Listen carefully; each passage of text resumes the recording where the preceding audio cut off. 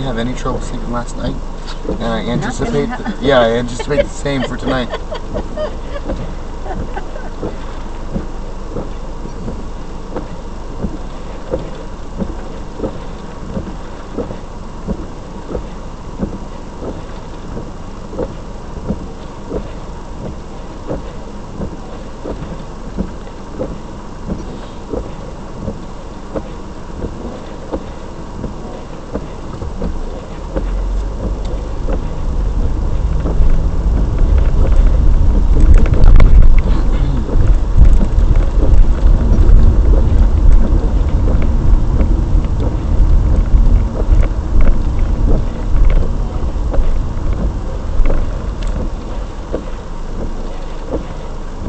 So, what do you think of Christie's little handheld sprayer thing?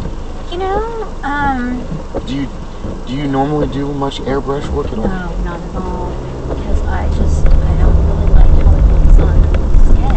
And so Okay. I wanted to try it on myself today. And, What you think? and then I forgot when I got to, back to the hotel to look at myself. Before you took your Before shower? I jumped in the shower because I want to look at myself again. Yeah.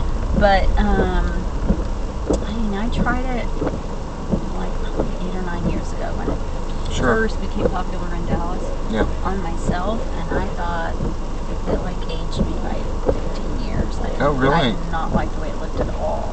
Is it because of the way it dries? And, uh, yeah, it just dries real flat and real matte. And, Which is what you want on camera Yeah, if you're shooting video, Yes, not if you're if you're shooting stills. yes, and I don't know. Just had a couple of other experiences where you know people went and had that done, and then they came to me, and it was just supposed to be a touch-up situation, and they had gotten sweaty, and then it separated, and then it dried Yeah. back, and then I couldn't move it. Yep. And so I just have always been a little anti that, but I've also lost a lot of business because I won't succumb to that. Because Sure. It's, Some you know, people. at the end of the day, it's still just a foundation. It's Right. just a different form of application of a foundation. Right. And I should have taken a picture, you know, looked at myself. Because, I mean, maybe things have changed a little bit. Because she said it could, it, you could get a glowy look, but Yeah. I don't know. But I did like the little handheld thing. I'd never seen that where it wasn't attached to a long hose. Well, yeah. That and you the had to plug into something and all that. the the whole cumbersome thing. Uh, I used to work with a makeup artist named Dane Nelson.